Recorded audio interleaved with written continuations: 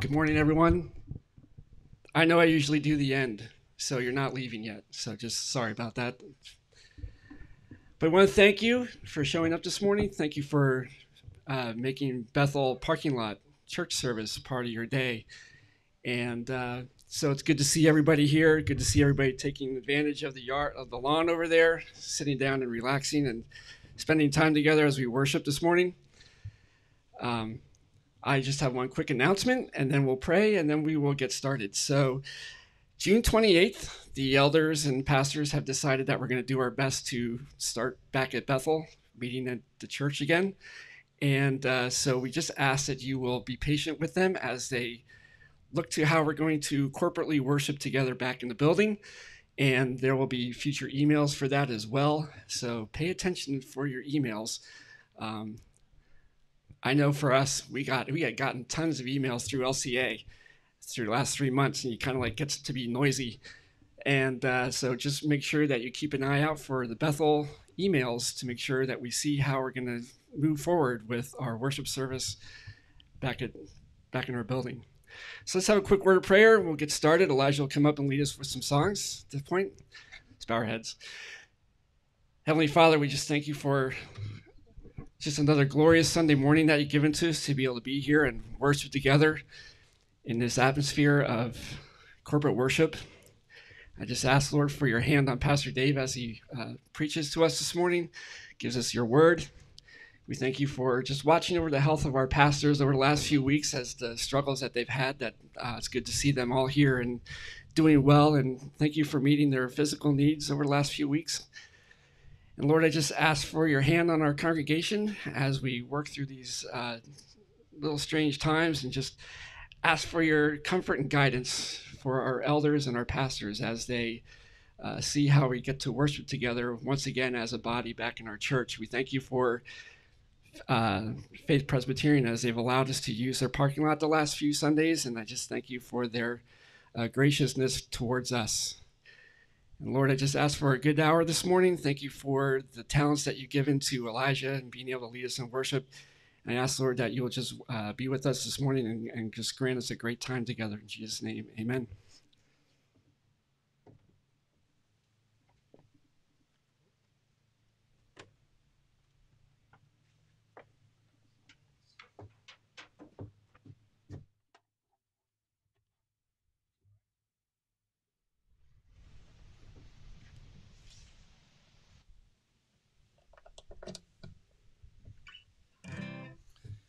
Morning. All right, uh, we're going to start with Behold Our God. Um, I'm going to skip over that bridge section at the bottom, just a note. So uh, there's like dueling, echoing lines there, and my skills as a ventriloquist are not quite up to par yet to pull that off by myself. So we'll uh, we'll just leave that part off.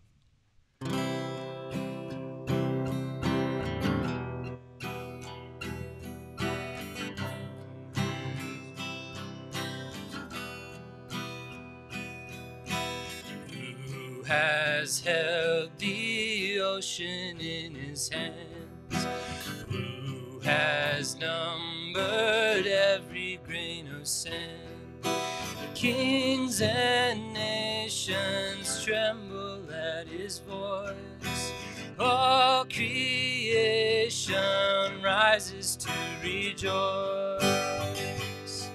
Behold our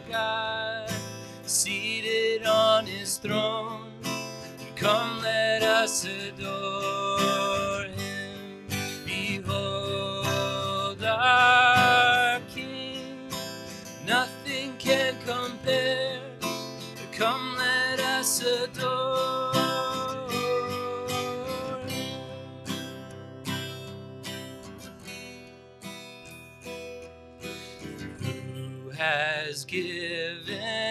counsel to the Lord. Who can question any of his words?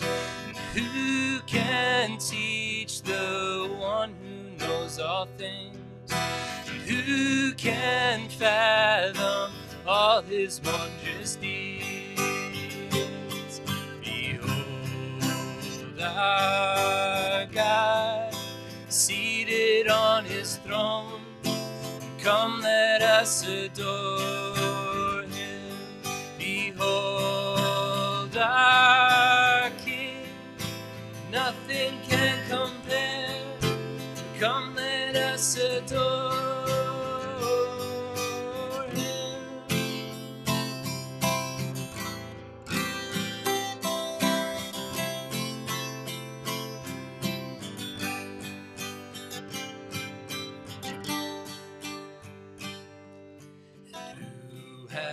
felt the nails upon his hands, bearing all the guilt of sinful men? God eternal, humbled to the grave. Jesus, Savior, risen now to reign. Behold God,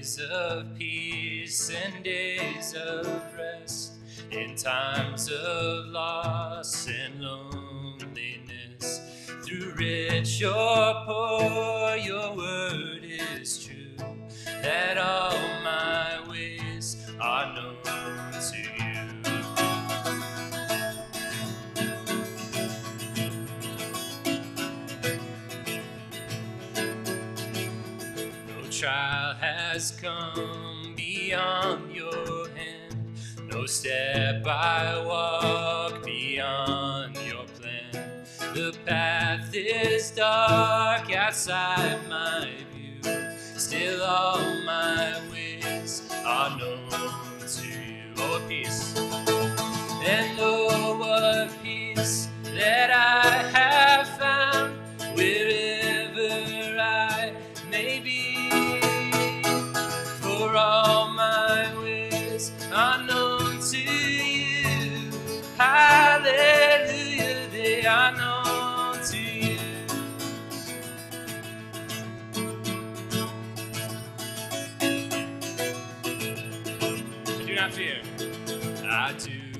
not fear the final night, for death will be the door to life.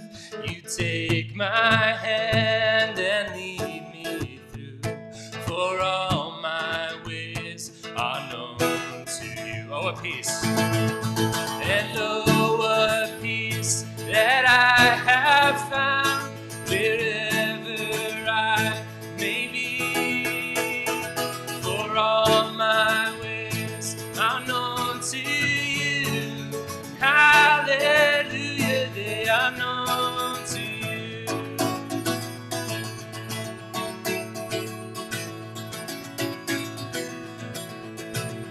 My eyes. Open up my eyes so I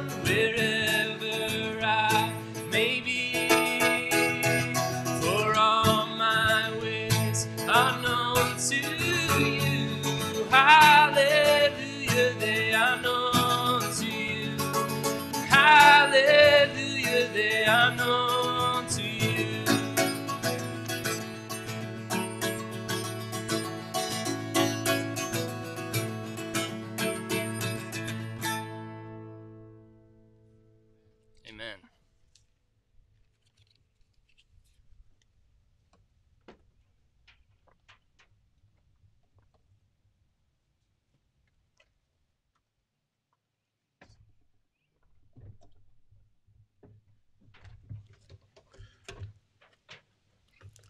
Well, again, good morning, church family. Good to see you all. Friends, visitors, those out in the Grove.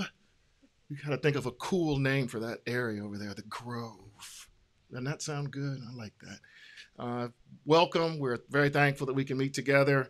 Uh, what a what a blessing God has given us. Uh, except really for our first Sunday where we had to cancel due to the rain, God has been very good. Uh, we don't want to complain about the wind because He is the director and orchestrator of the wind itself. So we we are thankful that He chooses to have it blow as He as He wishes. Uh, this morning, let's turn our Bibles, if you have them, to Luke chapter 12, and we'll study the parable um, found there in this section. It's uh, it's important that we remember that we're studying the parables that are exclusive to Luke. Uh, and what we mean by that is that they're not shared in the other uh, synoptic gospels. Matthew or Mark uh, do not record these, but Luke alone. So we're going to look at uh, some of these rather unique parables that most of us probably familiar with, maybe from children's stories or maybe Sunday school, or maybe you've just studied the parables. Uh, but this one this morning, we're going to talk about rich toward God. Rich toward God. Let's pray quickly and then we'll dive into his, his word. Father, thank you for the opportunity you've given us as um, your people, your children, those who have been called out of the darkness and into the marvelous light to glean truth from your word. Lord, we thank you that it is an eternal truth spoken from the heavens to, to various men over centuries. Uh, Lord, we thank you that the Holy Spirit superimposed those men, that, Lord, you had them write exactly what you wanted them to write, though their own styles and personalities come out, their unique perspectives. Uh, Lord, and we're thankful, Lord, that they teach us even now today. And Lord, this is an area where we must guard ourselves, as Jesus is going to remind us. Materialism, greed, uh, Lord, these things that seem to ensnare many today, even in the church, unfortunately. Even churches, not just individuals, but churches themselves, whole denominations have been captured by this. So, Father, guide us, lead us, instruct us. Uh, we are desperate for you. We need you. Uh, God, we love you. Please teach us to love you more. Uh, Lord, we desperately desire to love our neighbor as ourselves. We can't do that apart from you. Uh, Lord, would your spirit prompt us to do uh, and look and search uh, for those whom we can set our affection upon. Uh, Lord, with the same vigor, uh, I pray, the same anticipation, Lord, that you had when you set your affection upon us. Lord, we again love you in Christ's name. Amen. So, in this parable, what we're going to find, Jesus is teaching about the emptiness of greed and the satisfaction of being rich toward God. Stories told uh, regarding uh, greed. Uh, one early Monday morning, a church secretary hears the phone ringing and she picks up that phone to hear the following words I would like to speak to the head hog at the trial. The secretary says, uh, Excuse me, what, what did you say? The man gladly repeated himself and rather excitingly says, I would like to speak to the head hog at the trial. The lady says, Well, I think you probably mean one of our pastors, lead or senior or youth. I don't think you mean to use those kinds of words. Usually you start this off with a with the phrase, I'd like to speak with the pastor. The man's taken aback in the call and he says, Well, I had $75,000 I wanted to give to the church. There's silence on the other side of the phone for a moment, and the secretary replies with these words Hold the line. I think the big pig is coming in right now. Needless to say, money can change people. The thought of money can change people. In this parable, Jesus is going to declare clearly in the parable what are the consequences for following, chasing, pursuing greed, money, possessions, materials. One commentator says these words speaking on our current age. Some may state the Middle Ages, which were marked by monks, cathedrals, crusades, also an age of faith, and ours has been an age of unbelief. They concern themselves with the coming kingdom, ours is concerned with the present age. If they were focused on the soul, ours is the body. If theirs was marked by the spiritual, ours has been focused on the material. He concludes with these words I think it is safe to say at this juncture in history, our age is primarily concerned with the here and now and rampant materialism. Stuff. What do I do to get stuff? How can I ensure that I have enough stuff?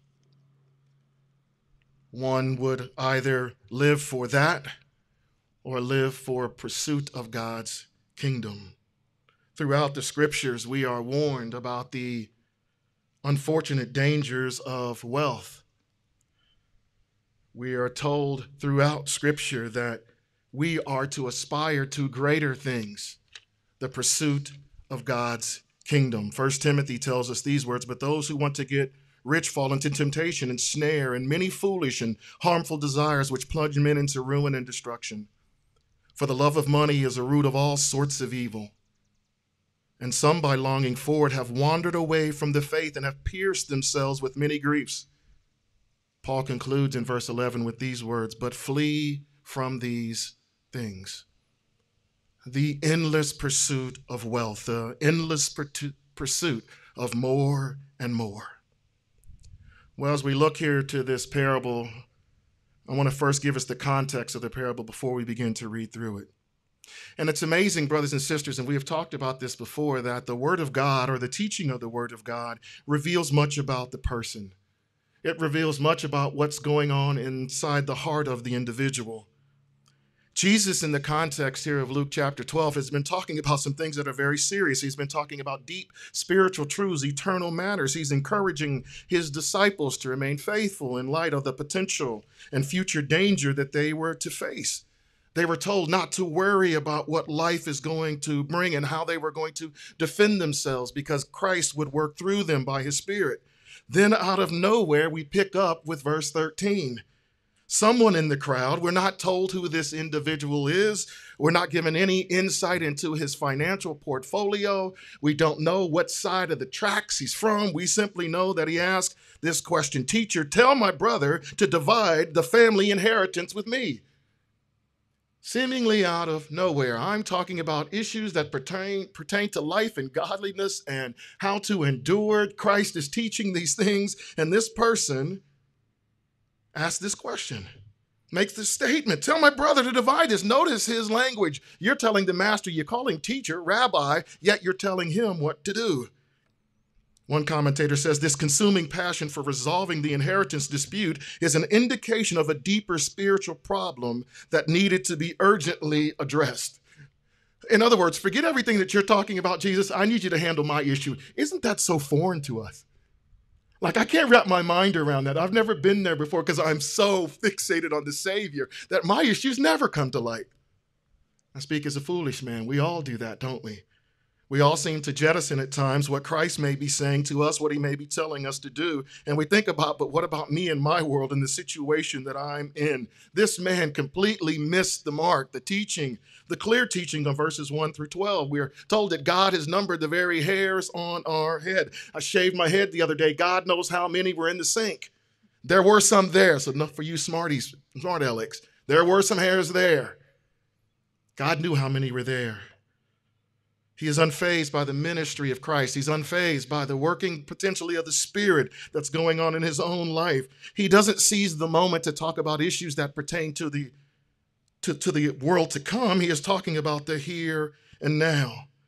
Some would say that this is a rude question. I don't care about this spiritual stuff. Just give me stuff that is going to work in my life now. J.C. Ryle says these words How many are incessantly planning and scheming about things of time, even under the very sound of the things of eternity?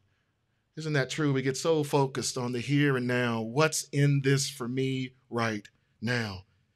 Calvin says this is a common disease. Those who ignore Christ's teaching and only are interested in their personal welfare.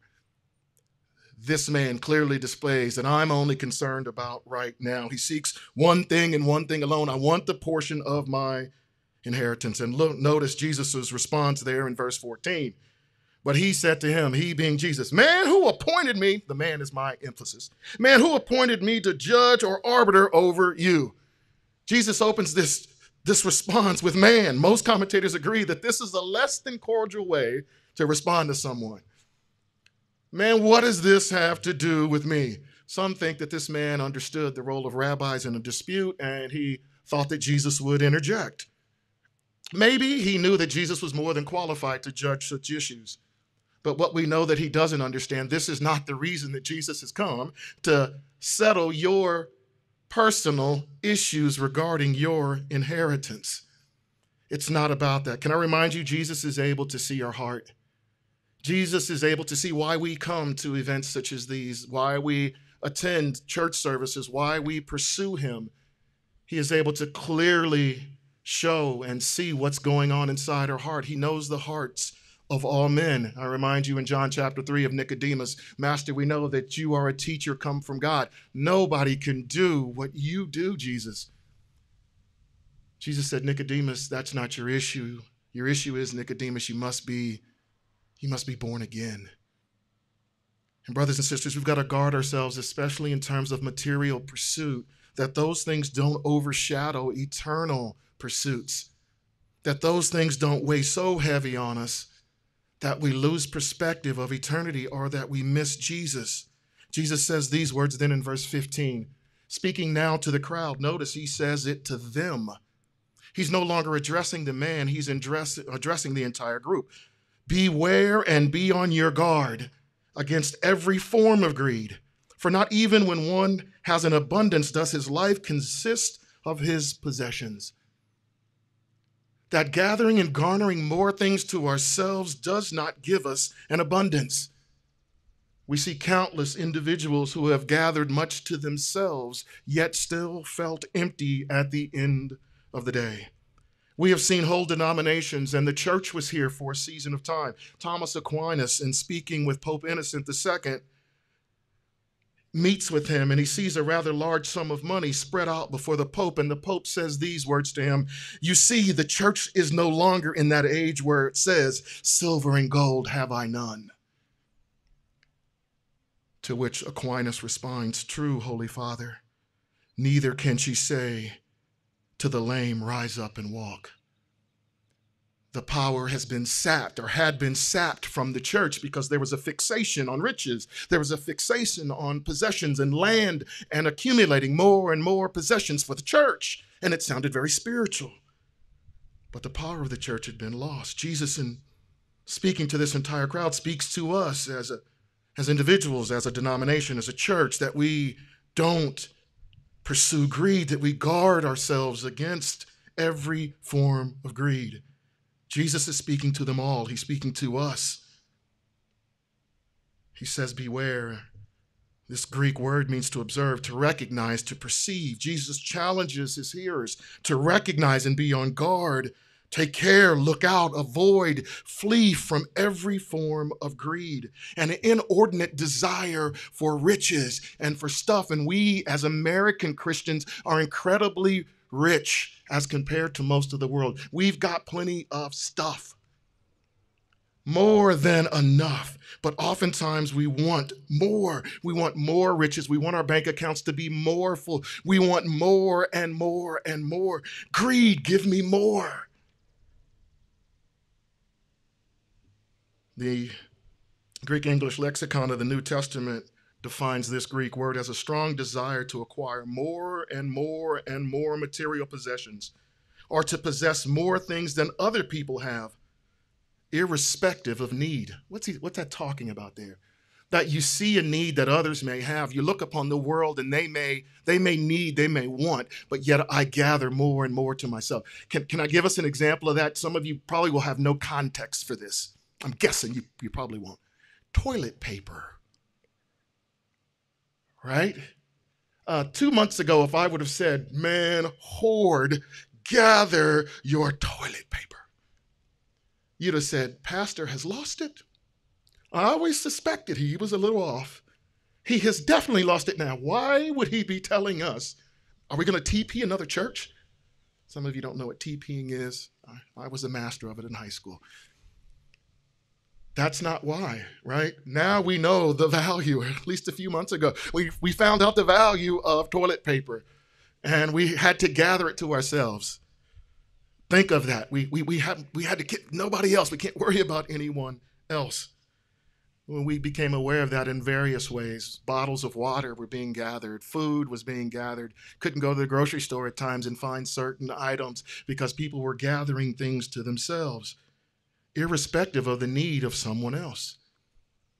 Jesus says, guard against greed. And, brothers and sisters, we too must guard against greed. It's a dividing line between the righteous and the unrighteous, between the holy and the evil, to those truly pursuing Christ and those living for the world.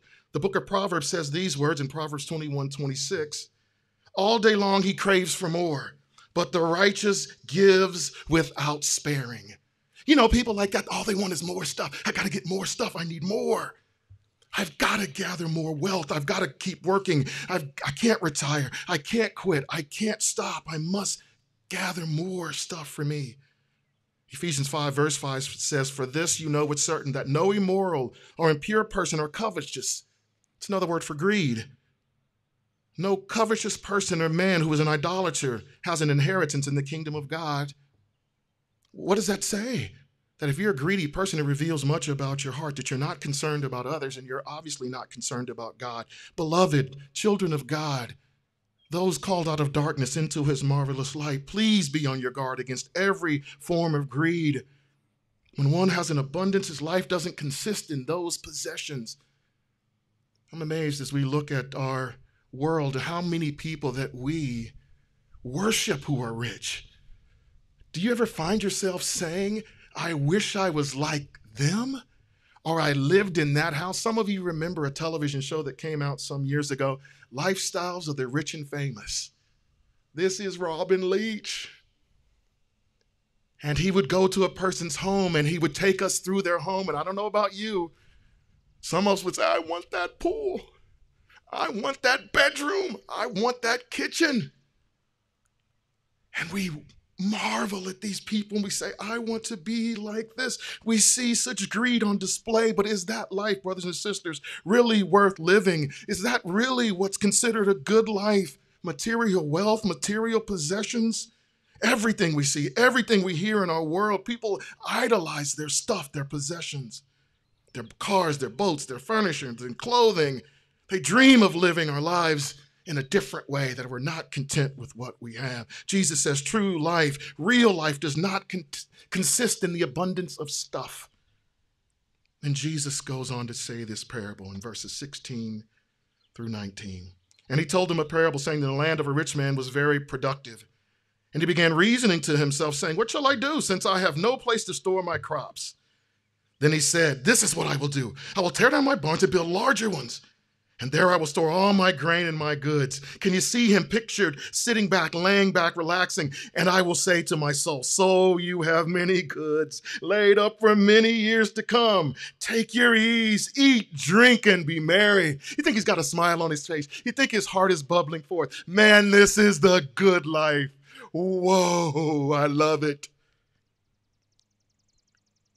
But verse 20, God's going to break in on him, right? But God had said to him, You fool, this very night your soul is required of you. Now who will own what you have prepared? So is the man who stores up treasure for himself and is not rich towards God. Four points of this parable I want to see, I want to uh, highlight, and uh, prayerfully we'll get that through in a timely fashion. I'm checking my time here to make sure we're good. Number one, we see the rich man's dilemma. Well, he's had a bumper crop there, we see in verse 16 and 17. Now, what is he going to do? He is going to build bigger barns. Ecclesiastes 5:10 says, "He who loves money will not be satisfied with money, nor he who loves abundance with its income. This too is vanity." He's not content to say, "Hey, let me go and see if my neighbor needs something." Uh, let, let me go around through the village. Let me go down to the town square. Who can I serve? Who can I set out beside uh, my property and say, free? This is for you. That's not his concern. His dilemma is, I've got too much stuff. What do I do with it? Well, his decision is point number two. He says, Here's what I'll do I'll tear down these old barns and I'm going to build larger ones and I can store all my stuff, my grain and my goods. By the way, I'm going to talk to myself and I'm going to say to my soul, Soul, you're pretty good. You've got some good things laid up for many years to come. Sit back and relax. Be at ease. Not just be at ease, but man, get you some good ribs and go get you some gluten free bread. That's for all you gluten free folks. Get your drink on. Go down. The state stores open up again. Go get you some wine, white, dry. Get whatever kind you want. Get you some dancers. Get you hire a band. Be merry. Who's with me? Isn't that real living? Drink, song, food. Ha. Five things we notice about this man's decisions, and our decisions, by the way, brothers and sisters, also reveal about what's going on in our heart when we get our stuff. Five things. We're going to go through these real quick. Number one, he is self centered. Look at what he says I will. How many eyes do you see in there? He's talking to himself. My, I, it's all about me. He's incredibly self centered. A person who is greedy, it's all about him. It's what can you do for me? How can you help me get more stuff? Number two, he's self indulgent. I've got all these barns and grains. I want to get more stuff. I want to garner, garner more, more stuff so I can be more comfortable. I want to indulge myself. Some would say he's hedonistic. He's only living for pleasure. He's self directed. I will say to my soul, he is a law unto himself. He is leaning on his own understanding. I'm going to talk to myself and I'm going to tell myself what to do. Some of us know how dangerous that is. Anybody, uh, have you taken your own advice on occasion and how's that worked out for you? Usually not very good. So he's self centered, he's self indulgent, he's self directed, he's self deceived. How's he self deceived? I will say to my soul, I've got many years to go to come. I've got plenty of time. I've got time to eat and drink and be merry. I've got plenty of time to enjoy all that I have gathered to myself. He's also self satisfying. I don't need anyone else to give me pleasure. I don't need anyone else to bring me joy or happiness. I've got it all myself. Obviously, this man's decision reveals that he is not living for God. Psalm 14, verse 1 The fool has said in his heart, There is no God. He is obviously living like there is no God. His primary concern is hanging on to all he has. How he can keep it, and his only worry is how can I make sure I never lose what I've gathered? Number three, we see the rich man's delusion. He says to his soul, he forgets who's really in control. He forgets who God is, as I've stated. He doesn't think about who God is. Number one, we see in his decision, he understands or he doesn't understand that God owns everything. Psalm 24, verse 1 The earth is the Lord's and all that it contains, the world and those who dwell in it. God owns everything. God controls everything. Isaiah 46, 9 and 10. Remember the former things long past. For I am God and there is no other. I am God and there is no one like me, declaring the end from the beginning and from the ancient times things which have ne- not been done, saying, My purpose will be established and I will accomplish all my good pleasure. God not only controls everything and owns everything, God provides everything. Proverbs 10, verse 22. It is the blessing of the Lord that makes rich, and he adds no sorrow to it. He should have been thanking God for all that he had, all the gifts that God had given him, all the material possessions that he had had up to that point. He should have been giving his wealth away, doing good for others. Yet, he only seeks himself. He doesn't understand that God provides everything. Every good thing, every good and perfect gift comes down from the Father of lights in whom there is no shadow of turning. God provides his children good things. He has given us good things. He has given us a level of wealth and a level of materials. Why? That we might share it with others.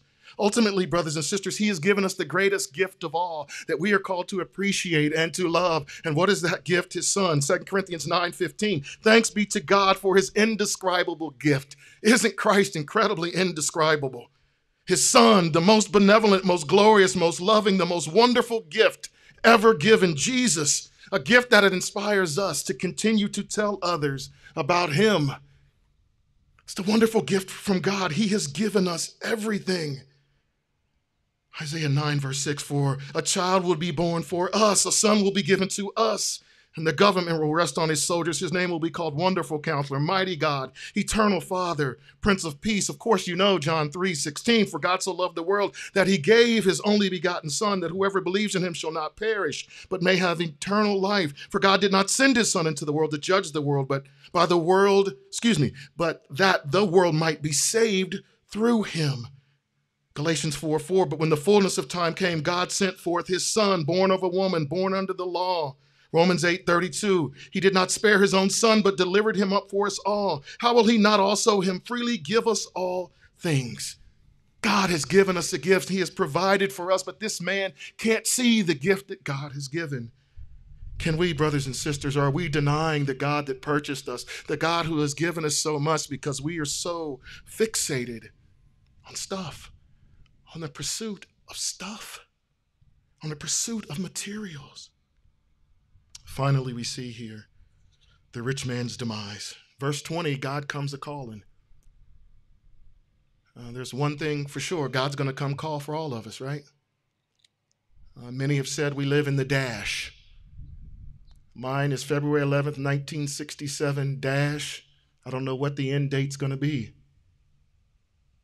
There is no guarantee that I'm going to make it home this afternoon. I live only a few blocks away, but God has not guaranteed. I should not uh, boastfully and pridefully say that I'm going to do. I don't know what God has for me this day. The rich man's demise, God steps in and says to this man, now notice this, he doesn't recognize God. He doesn't know God. He's denying God, but God knows him. God understands his situation, but God says to him, look at these words, pretty strong, you fool. The soul that was being protected, the soul that he was caring for, the soul that sought pleasure and a place of comfort, is now required by God. God says, "You fool." It remind that Greek word. Uh, it refers to someone who is mindless, lacking sense, ignorant. That's this man. He's foolish because life is short. See, we realize, brothers and sisters, we're sensible if we realize that this life doesn't last forever. We must consider what our life is going to be for the short time that God has given us. Life is fragile. I was talking to a brother the other day and I said, Have you ever had a near death experience? And we were commenting and talking. I was like, Man, I, I, I have on occasion. I about drowned when I was a kid. And, and I think of these times how quickly my life could have been gone. Like that. Psalm 39, verses 4 through 6 say these words Listen. Lord, make me know the end of my days. What is the extent of my days? Let me know how transient I am. Behold, you have made my days like handbreadths and my life as nothing in your sight. Surely every man at his best is a mere breath. And we're gone. Surely every man walks about as a phantom. Surely they make an uproar, nothing. He amasses riches and does not know who will gather them. Think about all the stuff that people gather to themselves that someone else is going to spend, that someone else is going to enjoy two things that this man understands in his in his uh, demise. Number one, he realizes that he's mortal. He's going to die, as we all will. The life that he wanted to preserve is presented again before a holy God. Psalm 103, verses 15 and 16 As for man, his days are like grass, as a flower of the field, so he flourishes. When the wind has passed over it, it is no more, and its place acknowledges it no longer. What is our life but a vapor, James says, that appears for a little time and then what? Vanishes away. It's gone. And I know when I was young, I look at our young people and I, was, I used to think I'm going to live forever. And I used to think 50 was old. I've changed my thinking. I now say I'm a young man. And when I get 60, I'll say I'm a young man. But I thought I'd live forever. I thought life was going to go on forever, but we're mortal, brothers and sisters. This man has not prepared, he does not understand his own mortality. Secondly, and more importantly, He doesn't understand that he's accountable. Your soul is required. Hebrews tells us it's appointed unto men once to die, and then after this, what? The judgment. Your soul is accountable for holy God. And here's, here's what's, and you guys know this. If you're speeding down, not that any of you ever do this, if you're speeding down some street and you get pulled over and the police officer says to you, or you say to the police officer, Sir, I didn't know what the speed limit was in this area. He will generously say to you, Oh, you didn't know. go ahead and go. You, you didn't know. You're, you're 15 miles over the limit, but since you didn't know, I'm going to let you go. Anybody ever had those experiences? No, because they don't exist. This man doesn't recognize God's law, but God is going to hold him accountable to the law. His soul is required. God's going to hold him accountable for the things that he's done. Our lives are borrowed lives. God has given us this life. God has granted this life to do what? They're not our own. He has loaned them to us. Life is so uncertain. We hang on by a thread. At any moment, we might be called upon by God to meet Him and to see Him. That's why it's important that we understand with this gift of life that we're given, we are to love Him and to love others. Jesus concludes with verse 21 So is the man, he's a fool, who stores up treasure for himself, who is not prepared and not rich toward God. So, two things, brothers and sisters, I want to remind us. Number one, be on your guard against wealth. We are all susceptible to chase it. We are all prone to wander towards materialism. Christians, the, some of the best Christians I know, have wandered away because of wealth, because of money, because of the pursuit of wealth. And secondly, be rich toward God. Listen to Hebrews 11, 24 through 26. I think it gives us an idea of what it means to be rich toward God. You'll know Moses' story here. By faith, Moses, when he had grown up, refused to be called the son of Pharaoh's daughter, choosing rather to endure ill treatment with the people of God than to enjoy the passing pleasures of sin. Listen to this. Considering the reproach of Christ greater riches than the treasures of Egypt for he was looking to the reward. Well, what's the reward? The reward was the future of what God was going to give him by maintaining faith, by trusting in what God says. Being rich towards God, the, the, the posture of the heart reveals the true condition. It reveals whether we have love for ourselves and our possession or a love for God, whether we worship material things or worship God, whether we seek fulfillment in this life or in the life to come. Whether we're storing up treasures for here that is going to pass away, or we're storing up treasures in heaven where they'll be kept forever.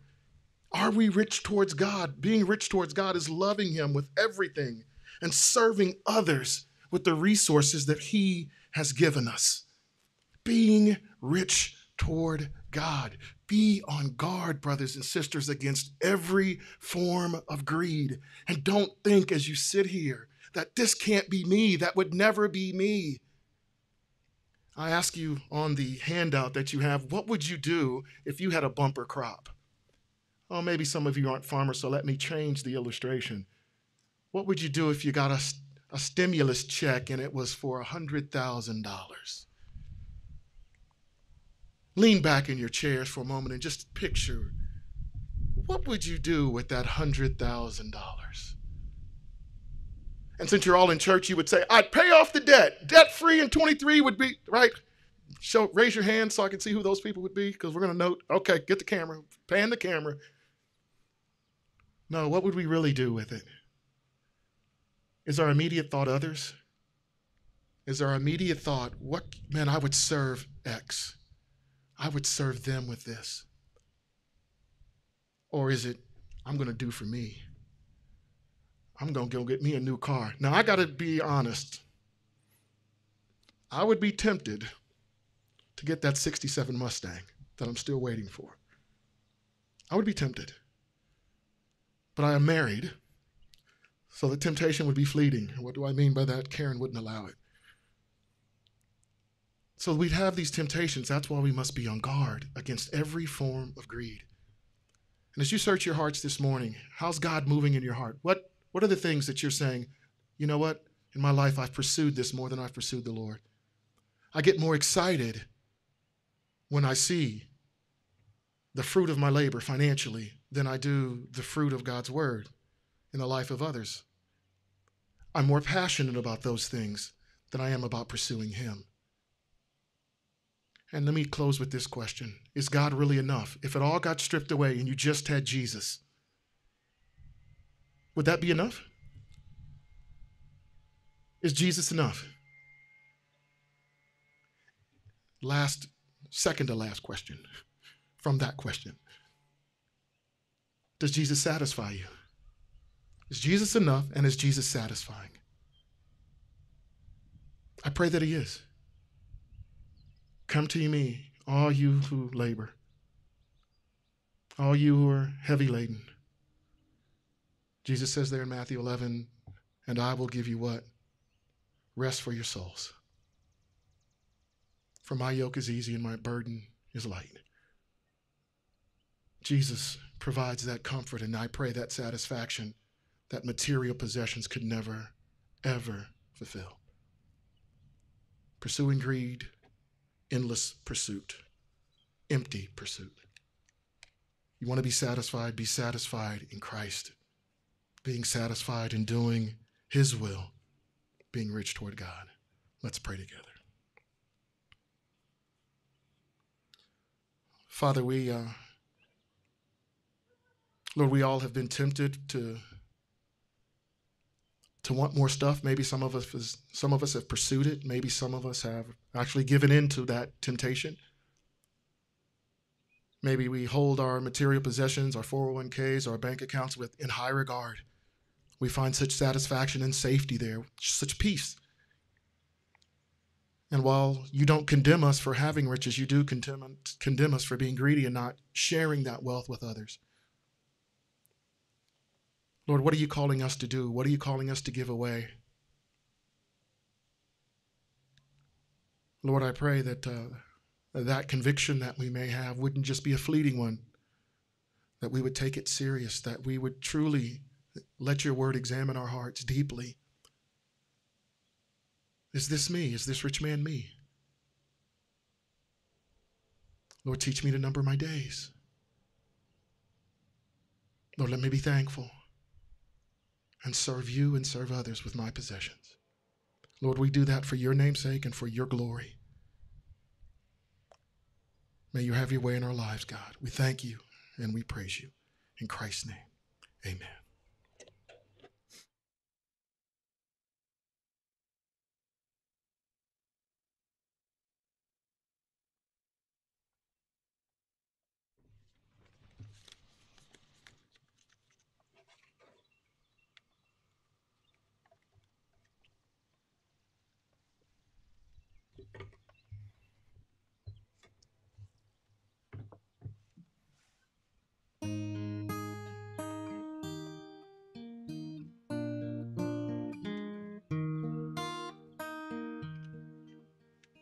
Great is thy faithfulness, O God my Father.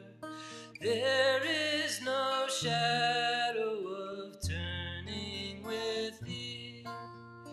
Thou changest not thy compassions, they fail not.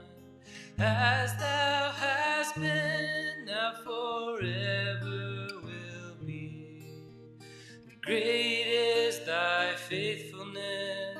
great is thy faithfulness.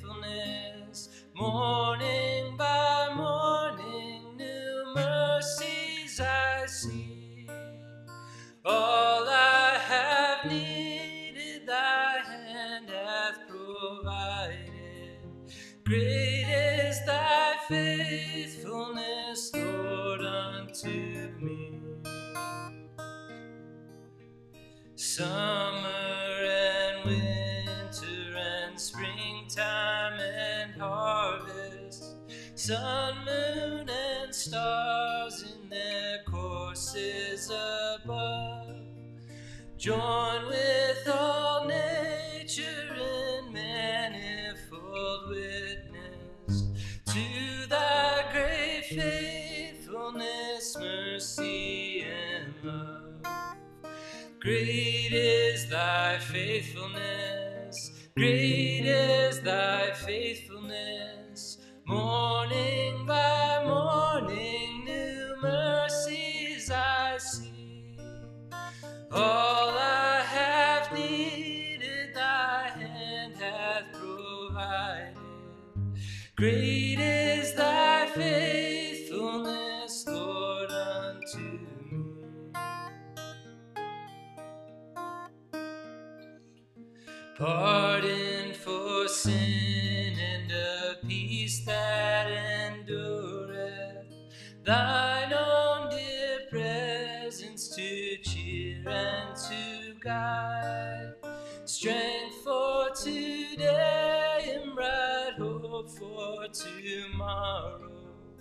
Blessings all mine with ten thousand beside.